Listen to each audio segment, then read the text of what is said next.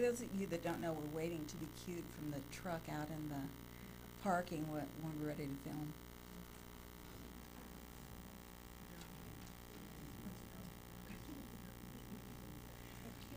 Good afternoon, and welcome to the Nebraska State Historical Society's Brown Bag Lecture Series. It's held here at the Museum of Nebraska History on the third Thursday of every month. Um, a detailed history of this schedule for those of you that are listening to this on television, um, as well as information about all of the Historical Society's programs and services, can be found on our website at www.nebraskahistory.org. Uh, my name is Ann Billesbach, and I'm the museum director here at the Museum of Nebraska History. Um, before I introduce today's speaker, I want to um, recognize and thank the Nebraska State Historical Society Foundation. Uh, they're the ones that provide the funding to us that allow us to broadcast these lectures on, uh, if you're living in Lincoln, you'll see them on Channel 5, but we're also getting them into the Omaha market. And so uh, uh, if you can't make it down to a lecture here in uh, uh, the auditorium, you can uh, see it on TV, or if you want to listen to it again, if you missed a few things, you're welcome to do that. Um, we have reason to thank the foundation twice for this program because they are the sponsors of the History Mystery program um, that you'll be hearing about from our speakers in just a minute. This is this year's was the third um, History Mystery, and I'll let uh, um, our speakers tell you a little bit more about what that means, but uh, it's an opportunity to get out and uh, test your knowledge of places in Lincoln, Nebraska. Um, let me, without further ado, tell you who you will be hearing from today, and I think probably most, if not all of you, know these two gentlemen. Um, Jim McKee is a co-owner with his wife, Linda Hillegass, of Lee Booksellers and The Coinery. Uh, Jim's the author of more than 800 articles on Lincoln and Nebraska history and numismatics, um, including Lincoln, a phot- photographic history, and Lincoln, the Prairie Capital. Um, he has a weekly column in the Sunday Lincoln Journal Star about various uh, topics in Nebraska history, which I'm sure you've all seen. And he also teaches a history course on Lincoln at uh, through Southeast Community College here in Lincoln. He's done so since 1970. Um, Ed Zimmer has been historic preservation planner for the Lincoln Planning Department for 20 years. Um, he's present, presented over a thousand, well over a thousand slideshows, talks, um, walks around neighborhoods and, and, business districts, and bus tours for a variety of audiences um, from starting in 1985. He's a member of the Lincoln uh, School Board. Uh, you sometimes see him in the paper or on the news in that capacity, and he serves as president. He's an Omaha native, and he earned his PhD in American Studies from Boston University in 1984. So, without further ado, let's welcome Jim and Ed and hear about Lincoln.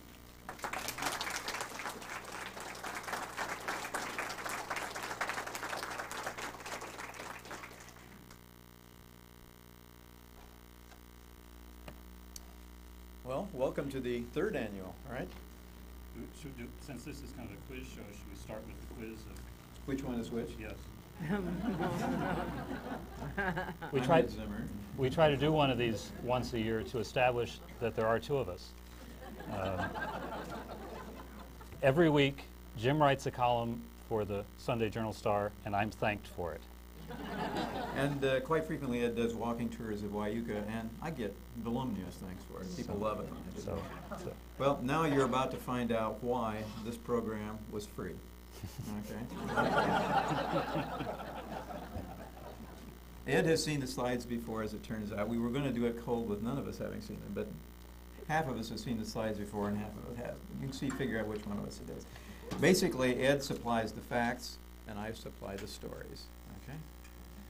We should also credit the other folks who've supplied um, part of the presentation today, because the History Mystery team, beyond the little group that, that we work with, um, is, is quite large, but the, the Clues team, the core team, um, is not just Jim and myself, but also Gene Crump, Esquire.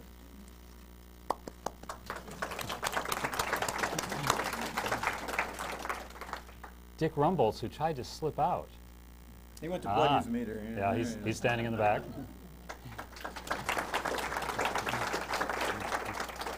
And Jan Lepowski Esquire, and we, you can tell the really, really difficult clues were when she had a bad day in court. And, and I think you can tell Jan had a fairly tough spring um, by the clues we wrote this year. Remember, though, that last year, several people complained that the clues weren't hard enough. Okay, so if they were a little tougher this year, it, it isn't our fault. It, it didn't happen this year. I, I was happy that, I believe 25 clues, we had 25 clues. Somebody got all of them right. Nobody got all of them right. So, was that, was that, it was somewhere there in between. No, te- no team got 100%, but there was no clue that baffled everyone. So we felt like they must Somebody have been solvable, Yeah. or at least guessable. Even though Ed and I couldn't get some of them. No, no, we didn't. I We do couldn't. have the, the uh, representative of the winning team here today, however, and that's Ron Schroeder, uh, who represented Snoop Dogged Sleuths, which is also a rock group.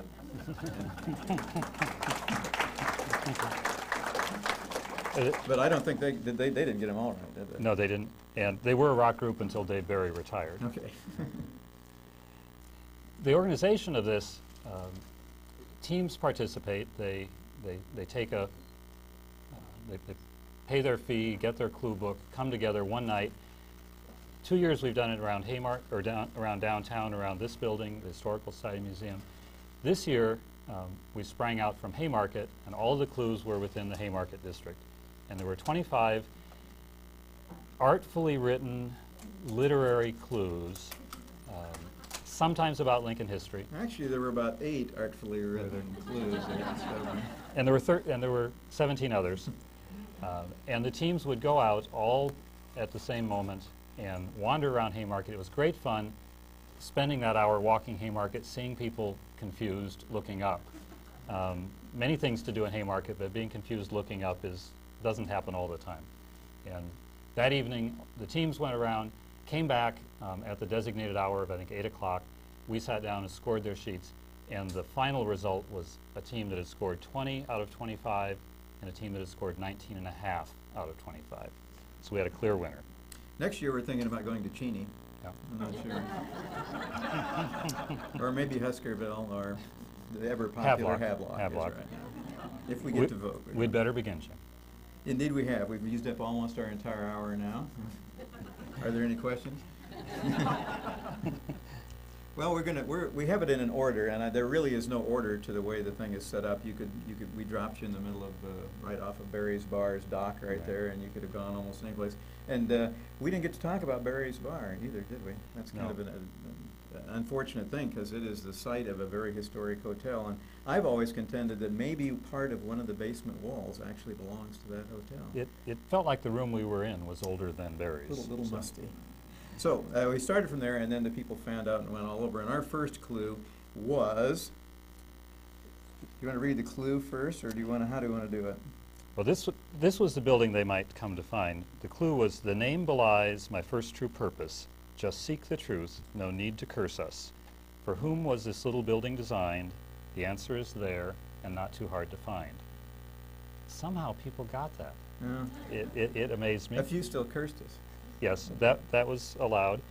Uh, This little building on Q Street, uh, in the 700 block, um, before its rehab, uh, with the faded Lincoln Hide and Fur Company sign on it, uh, undergoing rehab into a uh, retail building a few years ago, and they restored the sign. Many of these buildings in Haymarket now have a wonderful bronze plaque on them, giving a lot of information about them. And what we were often doing with the clues was guiding people vaguely, very vaguely, towards a building that if they then looked closely, often read the plaque, picked up additional information, they then could, could provide an answer. And somehow people um, did provide the answer here that we were looking not even for Lincoln Hide and Fur, but rather for Carter Transfer and Storage, which the plaque told you was the first user of this building. Yep. Henry Carter came to Lincoln in 1871. I remember it well. It was a summer morning. Um, he came from Fremont, Nebraska. He'd originally come from Germany. uh, with one horse and one wagon to start what became Carter Transfer. And his first contract was in 1873, and he got a contract to move the mail. That's one probably reason he was down there, and of course, it was a wholesale district as well. Uh, the, the best story about him was not about him at all, but how in 1878 he ran across a guy that was on down going to go to work for the railroad. He hadn't started yet. So he ran across him, really? Sir? He ran across him? He ran across him, that's with his horse and wagon.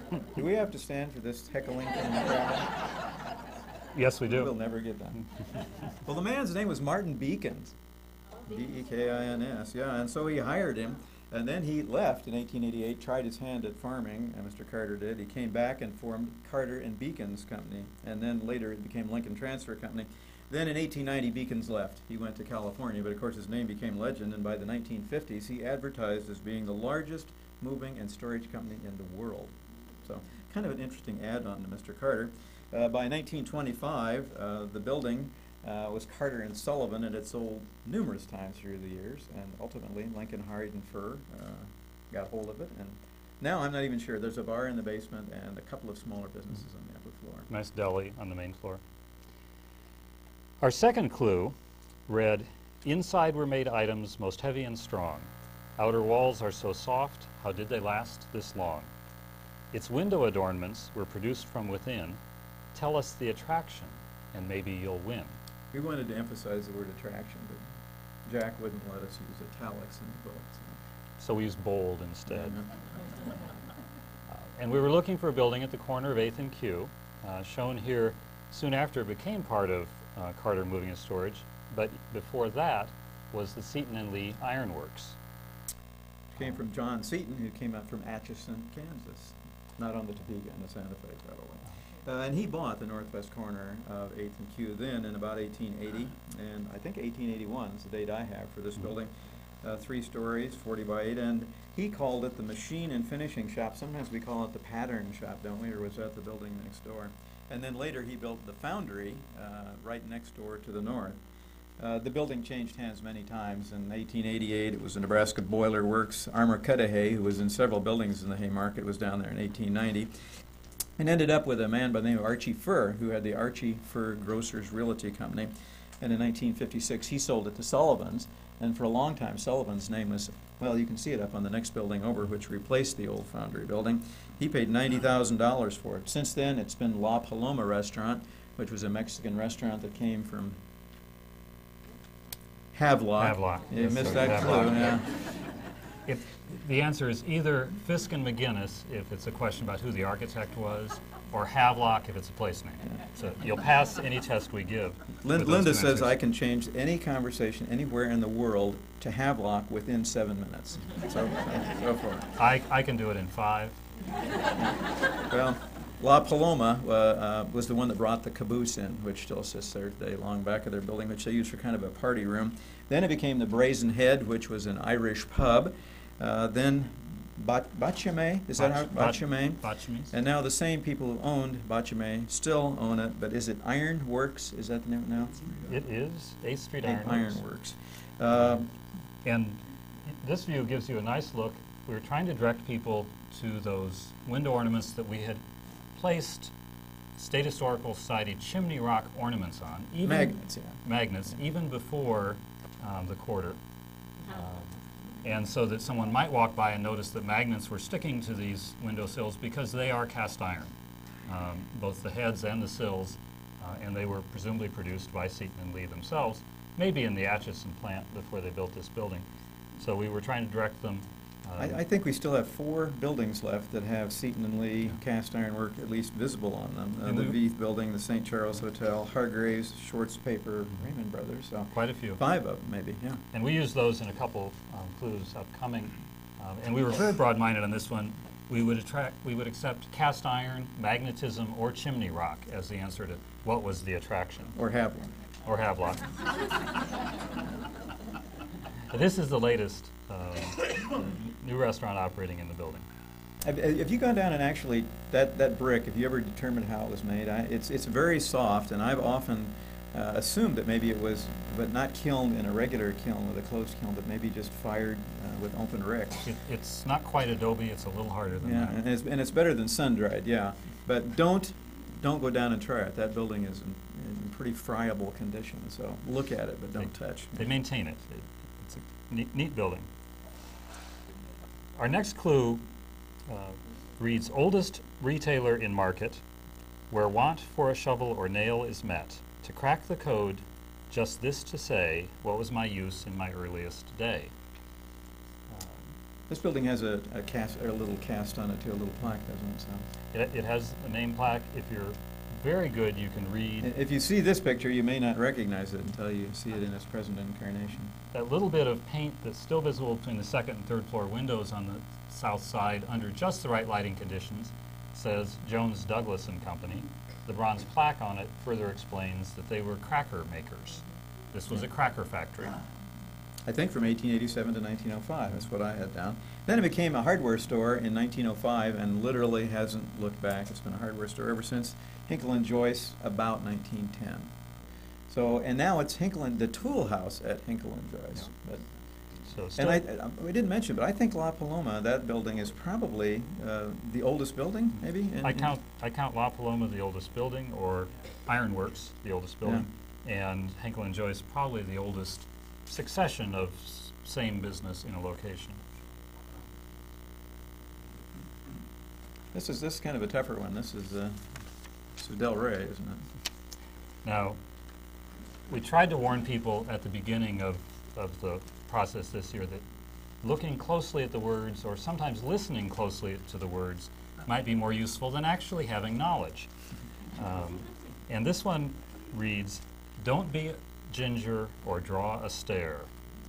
This is an easy one, just to be fair. It's not hard, just get a card. Shall we dance? Here's your chance. Because this little building, a warehouse um, up on our street between 8th and 9th, um, is Delray Ballroom. And they had prepared a sheet of paper that anyone visiting would pick that up and come away with their necessary answer to um, this clue. We could have said it was just across the street from the Buffalo Commons. I hadn't thought of that. We didn't think of that, because Bison Books are across the street. And uh, up until not too long ago, there was a railroad spur next to it, but not a lot left of the, of the function that it originally served. Really, really very nice interior uh, in this little building. Now, th- this one, um, no, it wasn't, I had to use my dictionary a couple times to interpret Jan's clues. Um, and we did urge people to bring any resource they needed. I didn't see anybody with the World Book. Um, it might have helped. Uh, they might have been using um, internet-connected Palm Pilots or something. This one reads, a place of highest heaven adored, a domicile, but not my lord's. These walls were raised to make a space for what endeavor to take place. Transparent. Of, of, of course, everyone got it immediately. Yeah. On the corner of 8th and Q uh, is the old HP Lau uh, Wholesale Grocery Company. Attached to it, uh, to the west, is their um, Tea and Spice or Coffee and Spice Annex with that big doorway where a rail spur came right into the building. In fact, the railroad tracks are, they're, they've been replicated. They're not the originals, I don't think. Right. They still go in there, so you can wheel out your kegs. Because today, this is Empyrean Ale um, that, that operates in this building. And if you use your dictionary, um, you find Empyrean means highest or greatest. Um, and Jan knew that. Now I know it too. A giveaway clue. And uh, that, that little building on the corner is kind of neat. Uh, it now is a parking lot. Yeah. Jim does a very wonderful talk on parking lots. Really nice parking lot. And a ghost sign that used to appear um, on the west wall of that building, um, barely legible, said, "Home of Milady is better coffee," or "Home of Milady Coffee." That sign has been restored nicely, and so this was not Milord's, but miladies. So it, it was all perfectly obvious, right? What are all those groans out there for? People actually got these. That's what amazed me. So, the answer to what endeavor was roasting coffee. I think we also accepted Milady coffee, uh, but coffee had to be in the answer.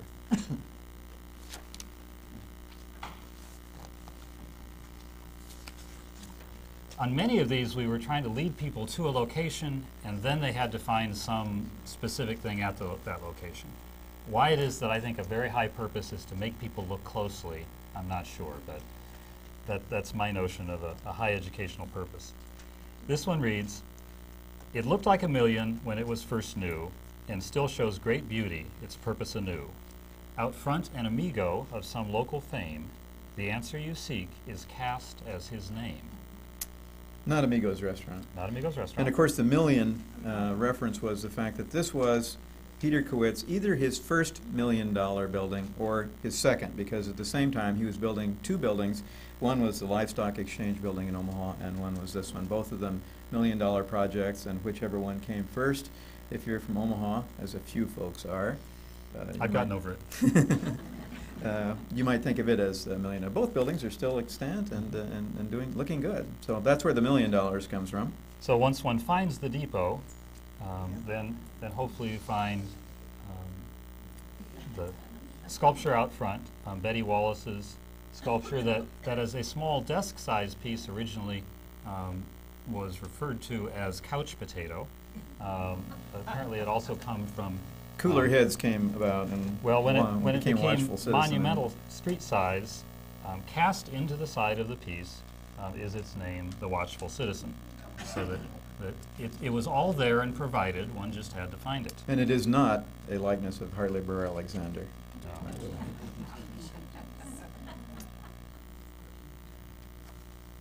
Seventh one, This one, this building is kind of getting some work on it right now. It is. Uh, if you go down and look, and that wooden dock that was there is not there anymore. shades of Sybil stretch across where rail cars came to call. The date of its completion is somewhere on a wall. Thought this one was just a sketch tricky, but just a, just a, just a titch. This is one of those that, you know, where people complained about it being too easy last year. I think we got back at those. Nobody complained about this one. Uh, Originally Huber Manufacturing that produced uh, farm implements. Uh, We're pretty sure that's not a cannon on the dock, but part of a thresher. Um, Or Quaker Roads, it could have been. Later, um, Huber Manufacturing became Port Huron, also in the equipment business, and their signs, um, over many years, faded into one another. In fact, maybe expressed a certain shades or ghost um, of maybe even a multiple personality for the Hmm. building. Um, People got it. Is that what Sybil meant? Yes, yes, ma'am. Yeah. That was not Sybil. bad. Around to the north face of the building, uh, this is the building a couple years ago. Um, The project now going on will rebuild the dock, provide much better accessibility, um, and put a nice roof over the dock, more or less like the mill just south of it or the, the buildings across the street. Um, It was really very wheel accessible, wheelchair unaccessible. Once you got up there, it was easy to get out. Yeah. And up on the north face is the date stone for, for the building and the date 1901. So the obvious answer to this, this clue, people probably got this one before they even left the building, uh, was 1901. Now you get it, Cynthia? No. No, I get she it, gets I it, it. okay. We'll do this back again next year. We could, we could do 20, we could do 50 next year, starting with these 25. And, and, and a lot of people still wouldn't get them. Eighth clue. It's so well grounded, a pleasure to each sense, which letters once so graphic are now just a past tense. Grounded. Yeah, yeah. If we directed people to the mill at 8th and P, and then they searched diligently on the old Stacy Brothers grocery wholesale building, and noticed the date plaque high up on the west side, which is still there, most of it's still there, because for some reason, in fruit, the U and the T have spalled off and fallen away. We don't like to use the word fruit with I in it, and you don't like to use the use fruit with you in it, but it, so. So, Now, see, that clue they got. they did. Yeah. I- amazing. Yeah. It would, it would have been a twenty-five points tie for everybody with this. The mill, and of course, now it has the largest ball bearing in Lincoln. Yes, On top of right, the- right there on the back. Would have been another clue we could have used. So the answer to this one, the required answer was U-T. for the missing Mm. UNT. UT, that's a good Scrabble word, too. Mm.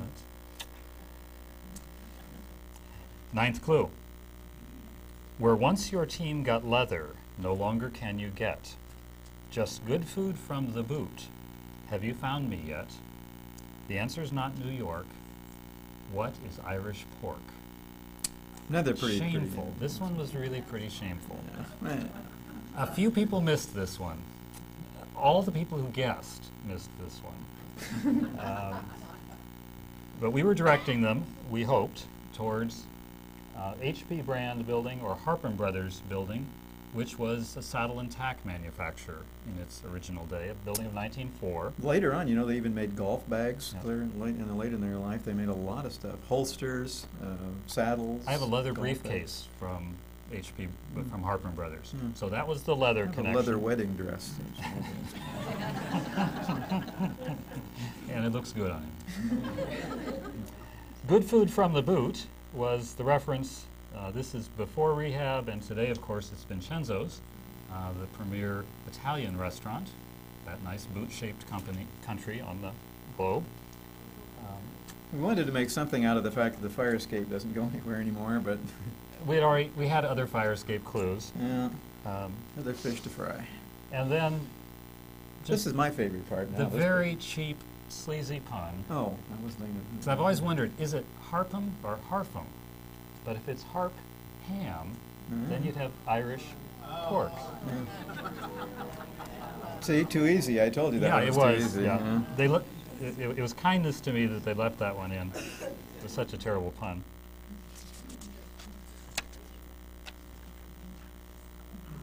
I wonder how many people got that one. Do we have any idea, Jack, or anybody? Uh, you, you did get harp ham? Yeah, we, we had a number who got it. The guesses of people trying to fill in an answer to that were, were not repeatable. Okay. Not- not- Probably the wedding, wedding dress connection. Sitting cute and pretty west of the Windy City.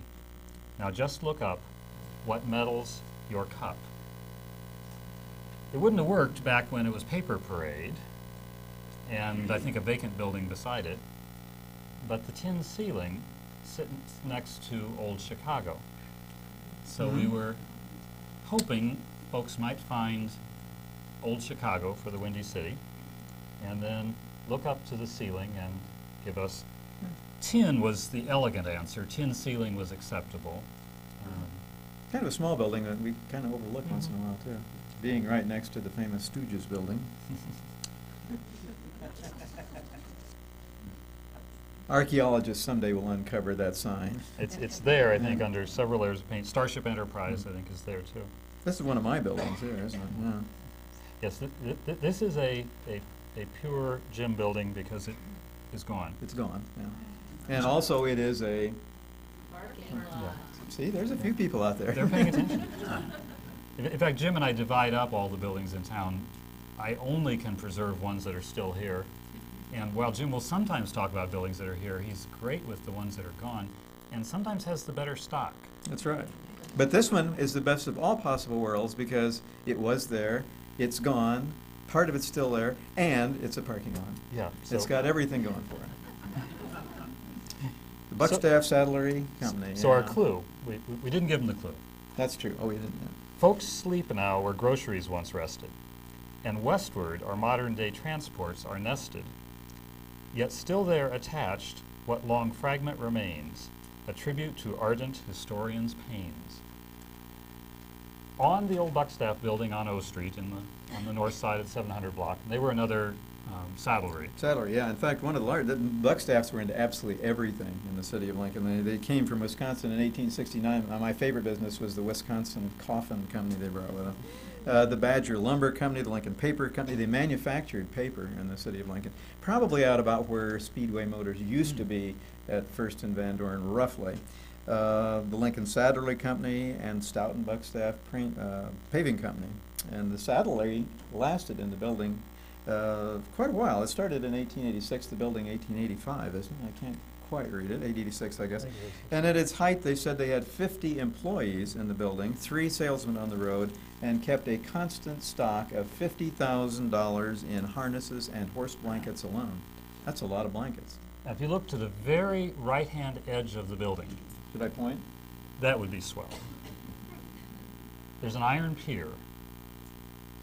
Now, the building doubles over time.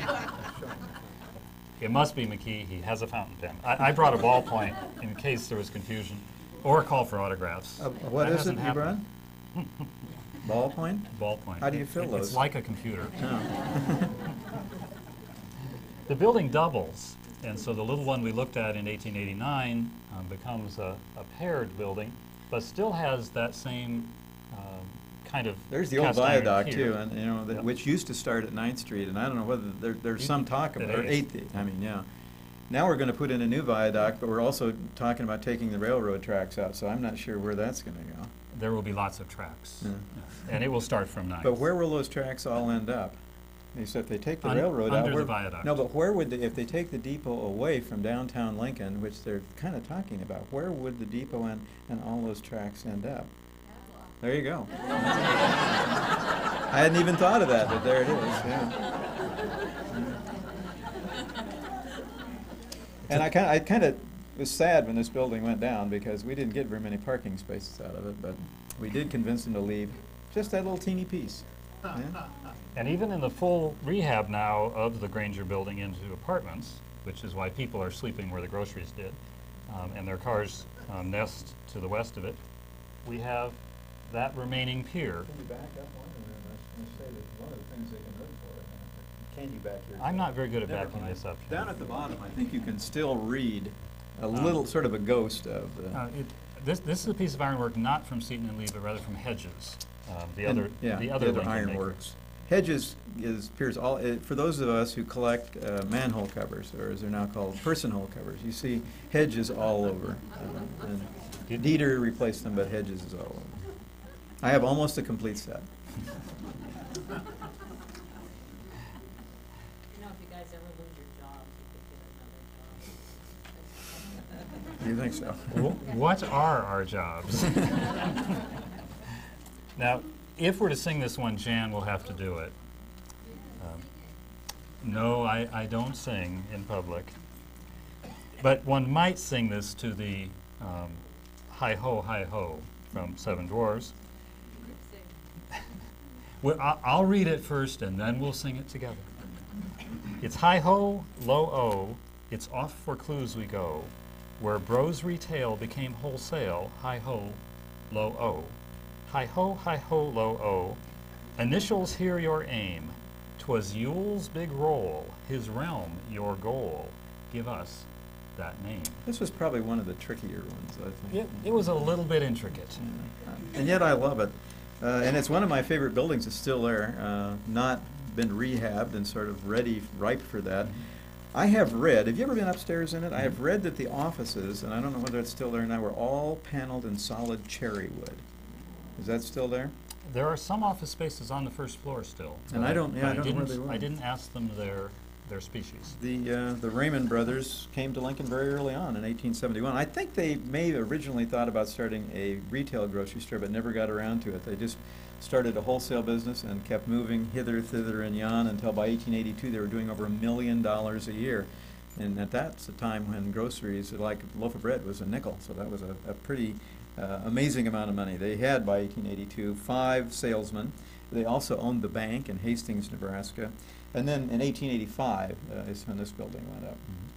And part of that last picture never got built, did it? That- No, It's one that kind of throws us once in a while, and people want to know where it was. They also sold cigars, and they advertised the General Good cigar, which was the best five-cent cigar in the world, they said. And I have no reason to argue with them. The old painted wall sign um, on the west side, high up, is still um, quite visible. And then down on the storefront portion, with cast iron from Seaton and Lee, um, is a bronze plaque that supplies the information that the brothers, the Raymond brothers' names, were I.M. and A.S. Raymond, Isaac and Aaron, which of course rearranged could spell Siam, which Yul, And there were folks who just read this one and went, Yul Brynner, Siam, and never went out to the building. Yeah. So it maybe was too easy. I don't know, I think this would make a great building for, say, the Historical Society Foundation offices, you know? It's just crying out for rehab. As, as a love, it's really one of the, one of the best nineteenth century buildings in Lincoln. And of course, the, the business became uh, HP Lau. They bought it. HP Lau's gone too now, but a name which a lot of you remember. Uh, one guy did try to rehabilitate that building back in, uh, in the, maybe the 1960s. I think his name was Hammond. And uh, discovered that because it was all wooden beam construction, that the fire marshal did not like it, and he was unable to carry through with it. But we can do it today. Uh, the Candy Factory building, I think, is pretty much wooden beam, isn't it? Lots of sprinklers. Yeah. Our next clue, thirteen. Uh-oh. Yeah. The sidetrack is now off track and holds forth on O Street. But long before Joyce sang here, you could get an, you could get an all-night treat, and earlier still, rooms by the hour, or an entire evening. If you exit by my west side, by what means are you leaving? Yeah, that's, that's On right. the old Hotel Bennett, Bennett Hotel, as the inscription Cafe on the, Benet for those of us. on the lower right tells us, um, where next to the old yellow cab depot, I just love this picture. That's a great one, yeah. Put it up almost any chance I have. That's Um, about 1950, I would say. The Bennett Hotel is the portion behind the classic um, Coca-Cola sign. Um, under the Hotel Cornhusker sign with the yellow cab on it is where fireworks, the other, the entrance to Fireworks Restaurant is today. I wonder how many people actually came here thinking that was the Cornhusker. I just I don't know, uh, really little Cornhusker. It was a really a very early hotel in the city of Lincoln. Um, the, earliest I see it as a hotel is in 1880 when it was a national hotel. Before that, the property was owned by the Atchison, Nebraska Railroad, which was later absorbed by the Burlington. And an early map I have shows that the Atchison, Nebraska depot was virtually impinging on 7th Street. In other words, it was further east than the current Burlington depot is, and that the Burlington depot, the first one, was out in the yards. And there was a track running literally right in front of this building. So it was natural that it became a railroad hotel uh, where the railroad put up division, uh, people were working on the railroad at a division point. Uh, it was first known as the, uh, the Bennett Hotel by 1915 when John and Albert Bennett owned the hotel and restaurant. Which is when this building was constructed. And then by 19, and we have some great, really, really early pictures of that building, even before yours, which is, has kind of a newsstand out in the middle of the street in front of it. A real sketchy, peculiar little building. Then in 1966, and I don't remember this, but it, it, the uh, city directory told me it was Eddie Fristo's Bluebird Hotel and Cafe. Yeah, and I, I can't remember. it. I remember the Bluebird when it was over in the old Grand Hotel, Lou's Bluebird Cafe, which for, for 15 cents you could get more food than you really wanted to eat. Uh, and then in 78 it became the Sidetrack Tap, which is where we got our clue. Then it became Jabrisco, and now it's fireworks.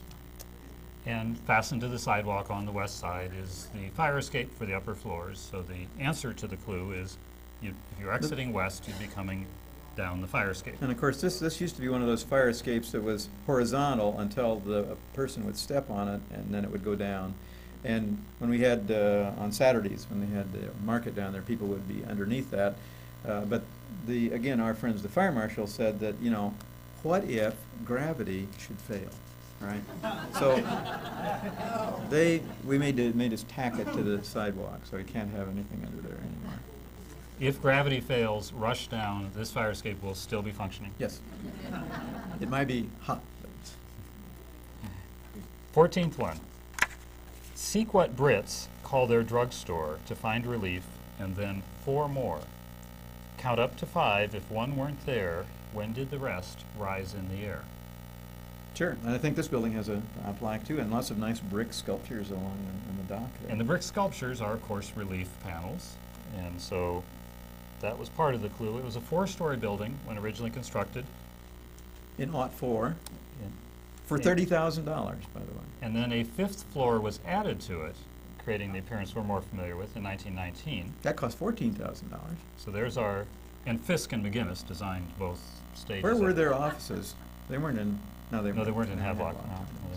weren't. Um, So what we were seeking was that this four-story building became five. If you took one floor off, when did it reach the four-story height? And we were looking for the answer of 1905, which also would be provided by the relief panel, um, the nice Jay Tschetter sculpture um, along the, um, the dock uh, on the west side. And right above that, it would even tell you explicitly, four-story structure in 1905, uh, fifth floor added in 1919.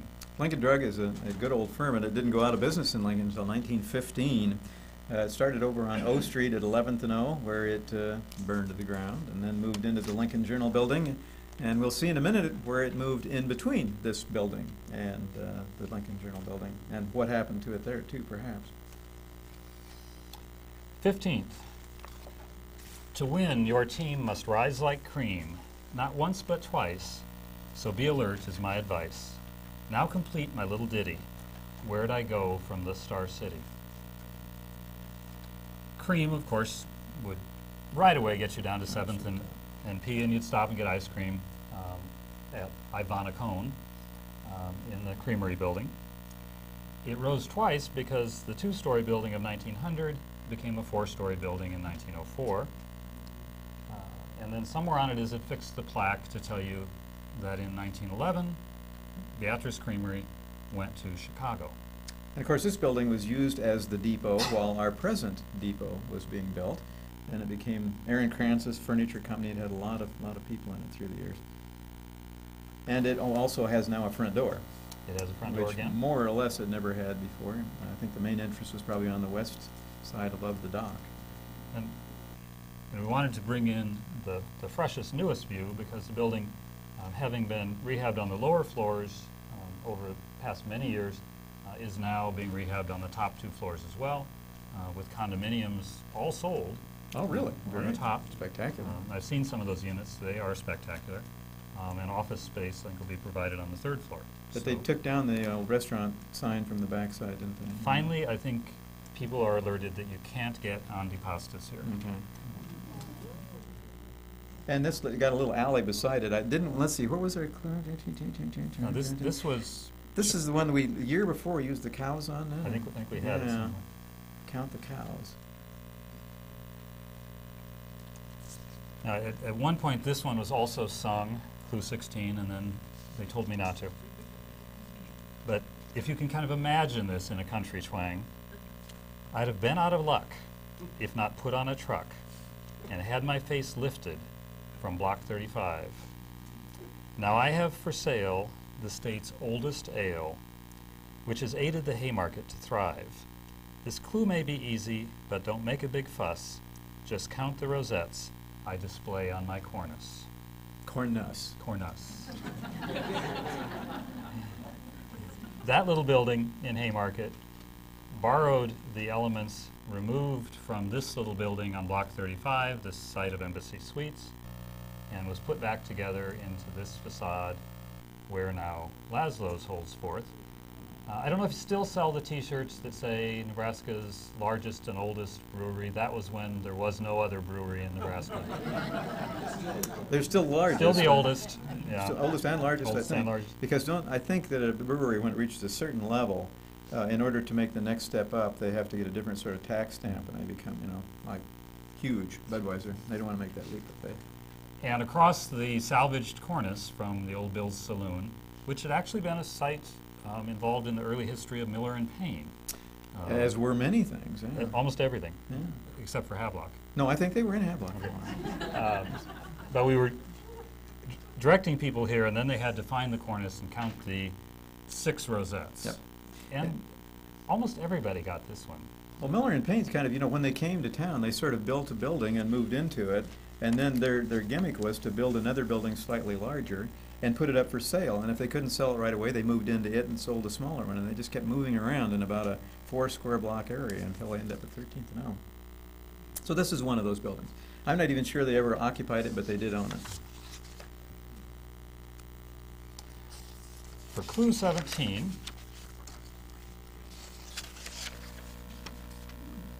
we wrote, Fire brought me low, but rising from the glow, a new building so dandy, this name found me handy.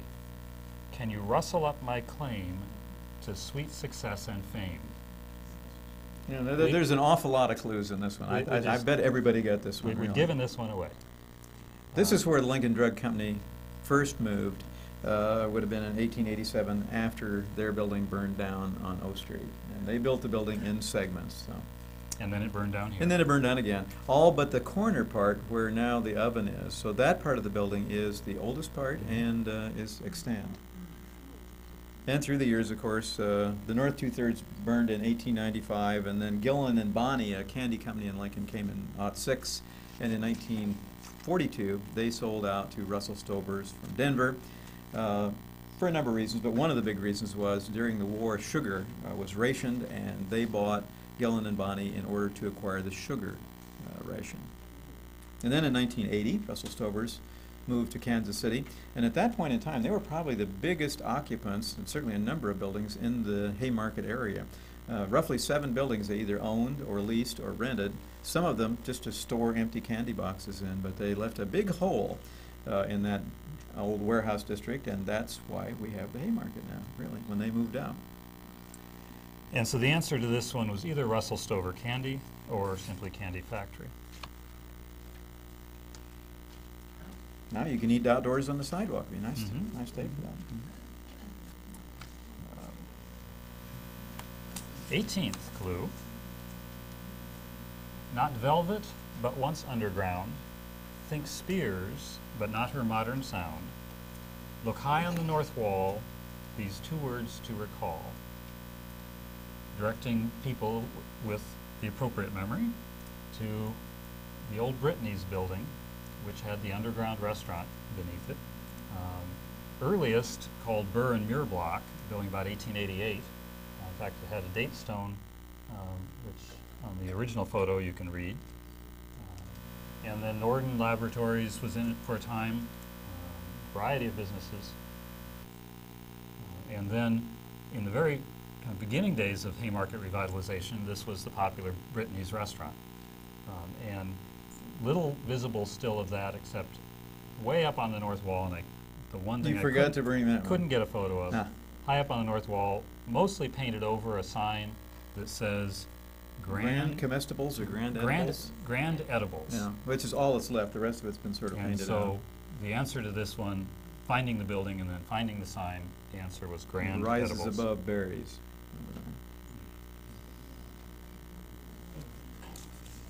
The nineteenth clue. A past life of drinking and disco made prior jock owners immense dough. Not a season paired with lake, but its companion by your plate. If you've solved the dilemma of where this is at, can you tell me the product that they used to wrap? And if you can identify the building on the left side right here, you get extra points. Because it never was built. Never got that.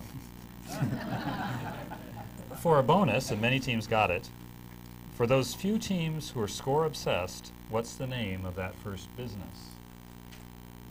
And in this, on the site of the old um, Lincoln Paint and Color, which burned, uh, was built a building about 1910, I think, for um, a business called Pepperberg Cigar Factory. Not cigar, Cigar.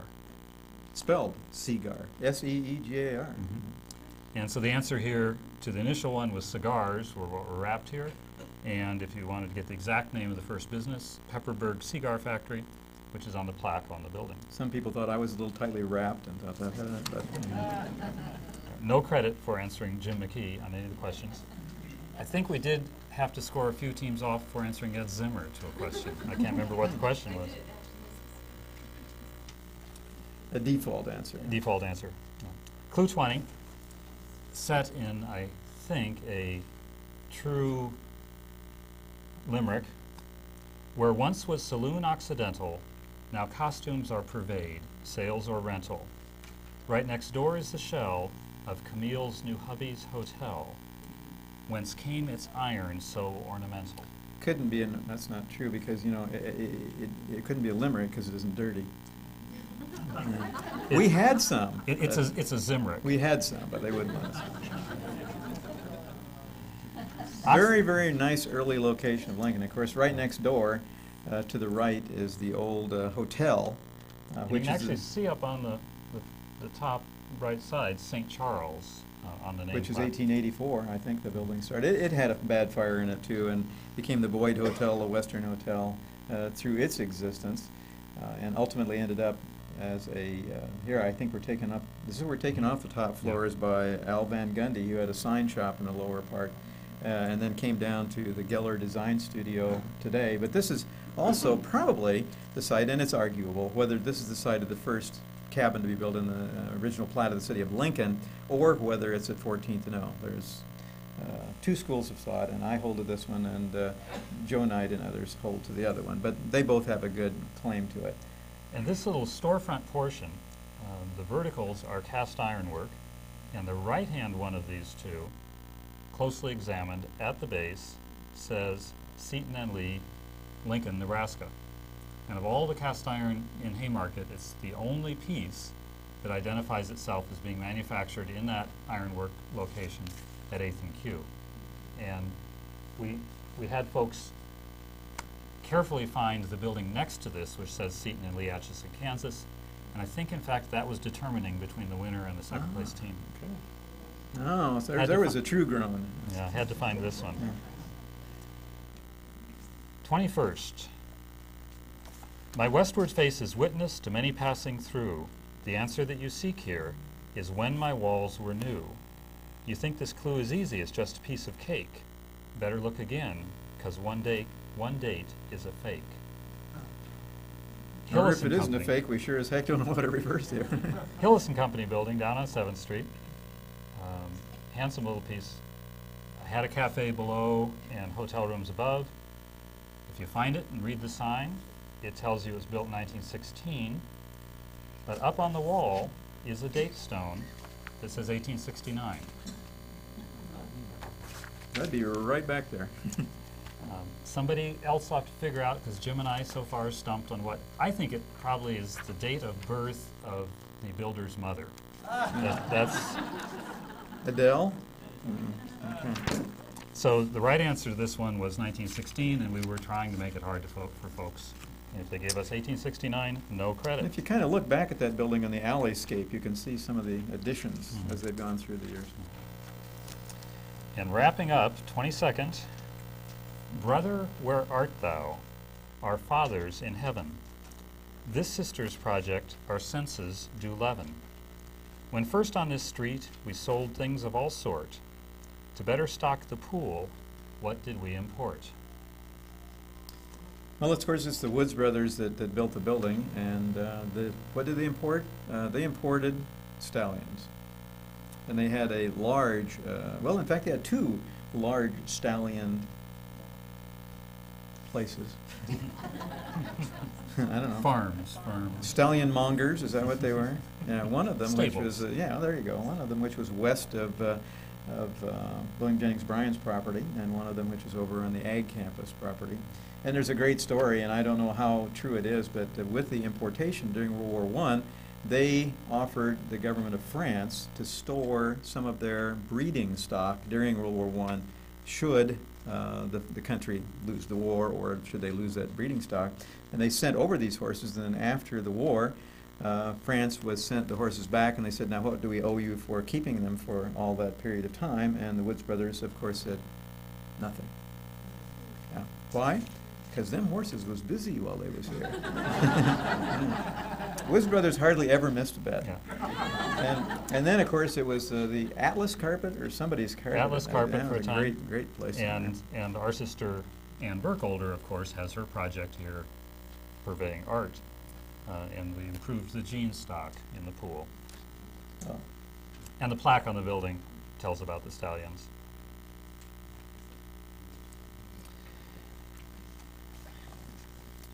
Three to go. The way was paved and many saved. For thrift or from thirst, this place came first. For thrift or from thirst, this place came first. Find a chiseled hand, tell what you'd drop for a full house to put you on top. This one puzzled many people. Yep. Originally outside of a hotel, too, on the corner there. Hotel on the corner, the Tremont House. Tremont, yeah, Tremont. Tremont. And next to it, part of the Granger Brothers grocery. It sort of came up in complex. fits and starts around in that half block. Um, Salvation Army rebuilds the corner in 1965. a Bill Schlabitz building, I. Wonderful Great building by Bill. And on the 1906 portion, the date uh, not the date, but the address is carved. One could never enter here, but it had this address carved on it of seven thirty-seven, seven thirty-three. Now, if you're watching television poker, you should Yeah. be able to figure out the The, rest of this. the best answer would, of course, be to drop a three and have um, Yeah. full house of Yep. threes and Seven- sevens. You threes. could drop, well, you could drop a seven and, and have a lesser full house. So we would, we did accept seven or three, but three was the better answer. People found it, not everybody. Th- this one was a tough one. Second to last, the finials aren't bent, aren't broken, they just appear bent. Upstream from down by is where you are sent. Between the eights, whose name stands great? Veith Building at, I think, eight twelve P Street, little building with the economy clothing sign on it in this view. Um, Quite neglected before the revitalization of Haymarket Great little building. and now lovingly redone. Several different businesses, now a coffee shop in the first floor. And up on that date plaque, really one of the best uh, date and name plaques in town, is the name of Veith nested between the eights. I think he was a grocer originally too, wasn't he? Yeah. And the very last one, culminating with not a parking lot, Close. not Fiske There and you go. Meginnis. She got it. She got it. Extra. My name is just a number. Track down the place I'd thunder. Do you know by heart where and when I got my start? Now, in this Uh-huh. early view, it's renamed, but it was a number in this view. Um, moved to Haymarket, it reverts to its original name, the number 710. And the plaque on the side tells us that it was made in 1901, Yeah. June 1901, in Havelock, Nebraska. I think didn't it didn't it set out in Pioneers Park for a while? I think Many years. I think Carol Edens was working for the She- city at that time, and she took uh, a, a lot of heat and, and managed to get that sucker Carried it to Iowa, yeah, to virtually re- on to- her back. yeah, to be redone did, Redone and back to Haymarket in front of the line of boxcars. which will someday, I'm told, have shops in them. Yeah. Right. That's that was their original plan. So you're now all ready to go out in May 2005. Well, these clues were only good in May 2005. Hmm. But we hope we'll do it again in May 2006. Wherever we end up. Somewhere, some other set of clues, maybe even worse. It's hard to imagine. Uh, better actually would be Better, the word you're looking for. Better, that would be it. Maybe I don't know if there are any questions out there or not. I don't see how there could be any. I think we've absolutely. There's one. Mr. Laszlo. For uh, decades, you gentlemen have been telling us that the Fringe and Tassel was the site of Dawson's cabin where Oh, actually, right next door. Al was born in Mhm. That's right. And now today, you're saying it's where Geller? Yeah, that's correct.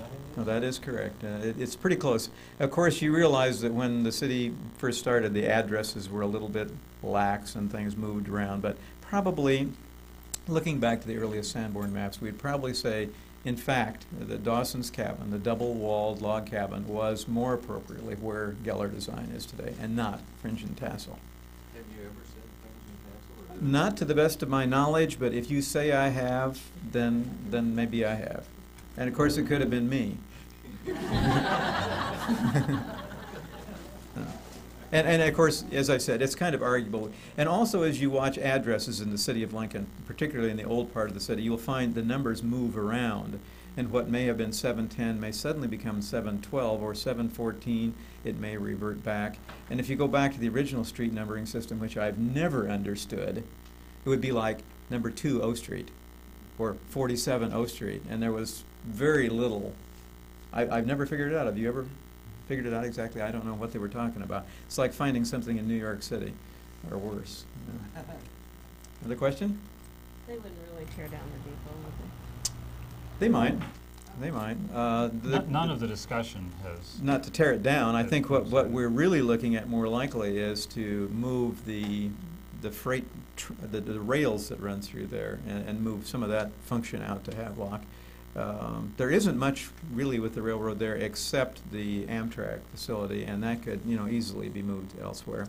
Offices on the upper floors. That's true, that would have to go, but I've never seen anybody talk about tearing that building down. The building that people are scratching their heads over a little bit would be the new post office building too, but you must remember that the reason that that post office was built where it is is because at the time it was built, the rail uh, was the primary means of moving mail, and that's not true today. So they would perhaps be better served near the interstate or the airport, and so there is some, at first I thought, they'll never tear that building down, but yeah, it's a possibility. But not the depot. I think uh, probably a better chance of removing the po- post office than the depot. But who knows?